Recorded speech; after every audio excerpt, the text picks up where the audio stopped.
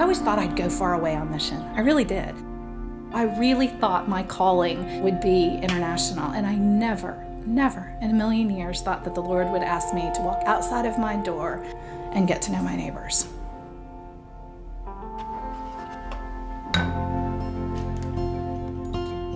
I'm Kristin Schell, and I live in Austin, Texas. I am a wife and a mother of four children.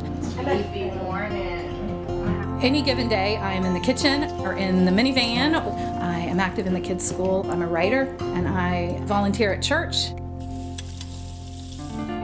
We've been in this neighborhood um, almost 10 years. Always knew we were supposed to love our neighbors because that's the great commandment. But how you live that out day to day is hard, um, especially when you don't know your neighbors, which is the situation I was in. I did not know my neighbors. Sure, I knew, you know, a handful of them. And so there was this huge question what do you want me to do, Lord? Here I am, Lord. What do you want me to do? Do you want me to walk across the street and bang on doors? Do you want me to take cookies? What do you want me to do, Lord? God answers prayers in really winsome ways. I was hosting a party with a friend in our backyard, and I didn't have any tables. And so I ordered a picnic table from Lowe's. And when it arrived two days later, I knew. I knew that for the purposes of the party, I was going to have it in my backyard. But as soon as that party was over, I was moving that table in the front yard, and it was going to be a gathering place. And so I painted it turquoise, which is my favorite color. And I did. I put it outside underneath a tree in the front yard.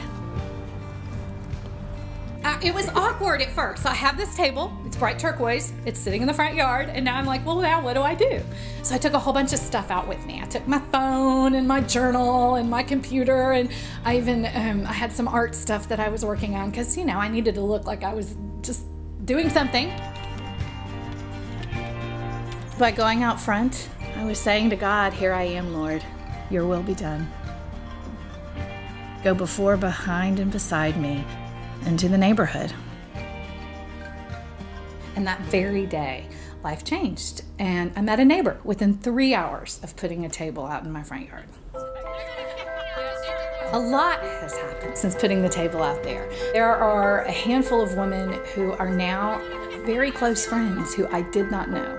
It has become kind of a gathering place. I'm Bob. Nice this is my daughter Peggy.